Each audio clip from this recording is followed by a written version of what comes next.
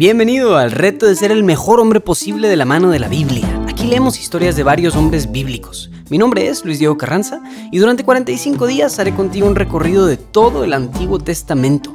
De cada historia sacaremos alguna breve lección práctica y plantearemos un reto que te puedas llevar allá afuera a tu vida diaria, con el fin de ayudarte a ser un mejor hombre, más entregado, más servicial y que generes un mayor impacto en tu familia y en tu comunidad.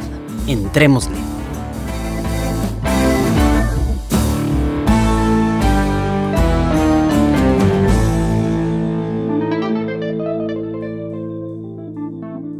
¿Qué tal? Espero que te haya ido bien con el reto de ayer, que hayas podido tomar algunos pasos importantes en tu lucha por la pureza sexual.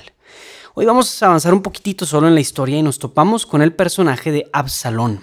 Fue brevemente mencionado ayer en el pasaje, pero Absalón es uno de los hijos más importantes de David. David tuvo como 20 hijos, como decíamos, y Absalón fue el que causó una revuelta, tratando de derrocar a su propio padre. Después de la historia que escuchamos ayer, Absalón se enoja muchísimo y venga el nombre de su hermana asesinando a su hermanastro hermano, a Amnón, el cuate que violó a su hermana.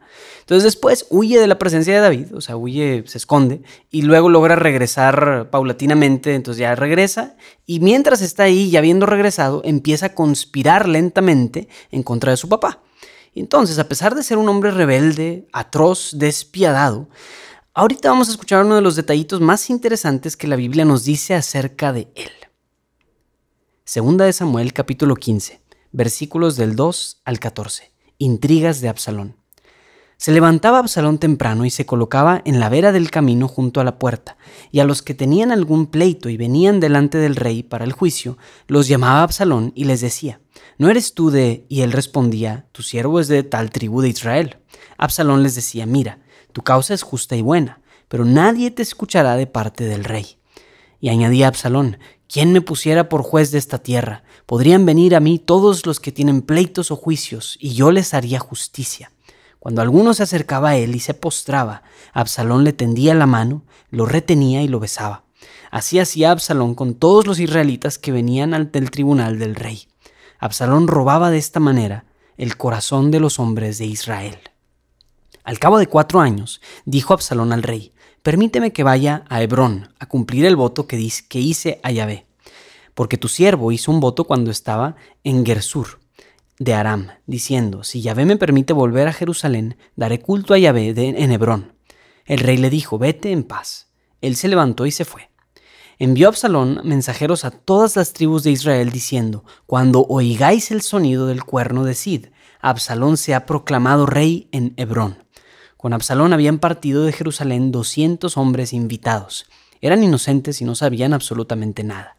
Mientras ofrecía sacrificios, mandó a Absalón llamar a Agitofel el Gilonita, consejero de David, de su ciudad de Giló. Así la conjuración se fortalecía y eran cada vez más numerosos los partidarios de Absalón. Huida de David. Llegó uno que avisó a David, el corazón de los hombres de Israel va tras Absalón. Entonces David dijo a todos los servidores que estaban con él en Jerusalén, Levantaos y huyamos, porque no tenemos escape ante Absalón. Apresuraos a partir, no sea que venga a toda prisa y nos dé alcance, vierta sobre nosotros la ruina y pase la ciudad a filo de espada. Palabra del Señor. Bueno, pues a pesar de ser un hombre de corazón perverso que se revela contra un buen padre como lo era el rey David, aquí vemos cómo Absalón era un líder bastante dotado al grado de que logró robar el corazón de los israelitas hacia una guerra civil contra su propio padre, un rey que los israelitas querían bastante, o sea, el rey David era popular. Entonces, ¿qué había en Absalón que fue capaz de robarse los corazones de los hombres y de inspirarlos hacia su causa? Es lo mismo que vemos en los grandes líderes de la historia. Independientemente de la causa que defiendan, hay algo en estos hombres que hacen y que hace que les traiga cierto magnetismo. En una palabra, es llamado el carisma. El carisma entendido como carisma social, no como un carisma tipo don del espíritu, es otro carisma.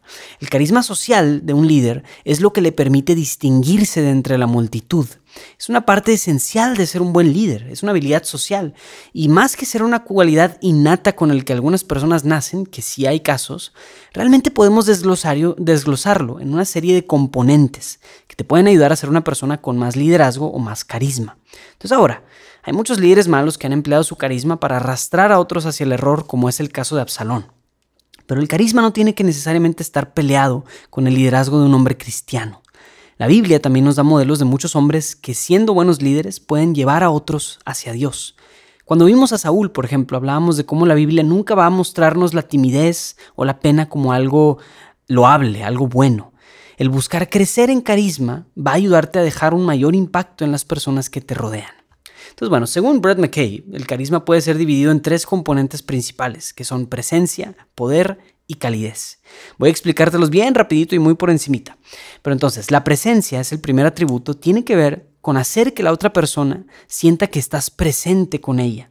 Absalón hacía esto parándose todos los días durante cuatro años enteros para hablar con cada uno de los hombres que iban a la puerta de su padre. En tu caso, ¿qué tan presente estás tú en tus conversaciones en el día a día? ¿Escuchas atentamente a los otros que te dicen cosas y que te platican de ellos o estás distraído con el celular mientras las personas te hablan? Entonces eso tiene que ver con la presencia. Segundo, el poder, entre comillas, poder, significa ser capaz de afectar y de impactar en el mundo que te rodea. Las personas perciben cuando alguien tiene la capacidad de influenciar en alguna necesidad y naturalmente van a ir hacia esa persona, hacia alguien que tenga poder. Entonces, bueno, Absalón le decía a cada uno de los hombres cómo él iba a traer justicia a sus necesidades, cosa que el rey David, según él, no estaba haciendo. Entonces, tú no tienes que tener un cargo de autoridad especial o ser muy popular para transmitir poder. No tienes que tener alguna habilidad especial ni nada. De hecho, es una cualidad que no está para nada peleada con la humildad y la sencillez. El poder tiene que, ser, tiene que ver con ser un hombre de acción, que se preocupa por las necesidades de los demás y que va a hacer algo al respecto. Y por último, la calidez, así bien resumidita, tiene que ver con hacer que los demás se sientan aceptados, amados, validados, considerados delante de ti o gracias a ti. Vemos esto en que Absalón le daba la mano a los hombres con los que se topaba y bueno, pues hasta les daba un beso masculino como señal de empatía hacia ellos.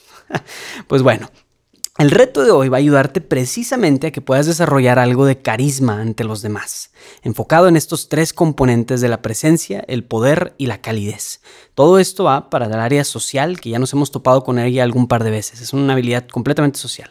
Entonces, bueno, para crecer en presencia, el reto consiste en que mantengas contacto visual durante todas tus conversaciones del día de hoy y evites usar el celular mientras hablas con alguien. También si tienes llamadas, videollamadas o conferencias o así, mm, trata de poner atención completamente a todo eso. Es un ejercicio de atención. Te aseguro que vas a hacer que el otro se sienta escuchado y atendido. Pero no te molestes si el otro no hace lo mismo, ¿verdad? No andes con el celular mientras hablas con alguien, pues. Bien, lo segundo, para crecer en este concepto de poder. Sonará medio raro, pero está comprobado que uno de los atributos que más hacen que los hombres transmitan esta parte del carisma es la vestimenta. Está raro, pero así es. Así que hoy vístete intencionalmente bien. Arréglate bien y si es necesario busca renovar tu guardarropa. Y por último, para crecer en calidez hay muchas cosas que pudieras hacer. Pero el reto de hoy consiste en que como Absalón saludes de mano y beses a quienes te encuentran. No, no te creas. el reto de hoy es que vas a anticipar alguna necesidad de alguien más. Puede ser algo tan sencillo como que ves que se va a acabar el rollo de papel de baño en tu casa y tú te encargas de reemplazarlo. O puedes ofrecerte para ir a hacer la despensa. O vas a rellenar el bote de café o las servilletas o lo que sea. El chiste es que veas alguna necesidad específica y hagas que los demás se sientan atendidos y amados por ti. Con estos atributos en mente te aseguro que puedes sumar a varias personas para alguna causa noble. Esto ha sido todo por hoy. Te invito a compartir en redes sociales la experiencia que estás viviendo con este programa. Asegúrate de seguirnos desde la plataforma de podcasts y también a darte de alta en la lista de email en retohombre.jdn.app para que no se te pase ninguno de los días de este programa. Mi nombre es Luis Diego Carranza, invitándote a seguir siendo el mejor hombre posible. Nos vemos mañana.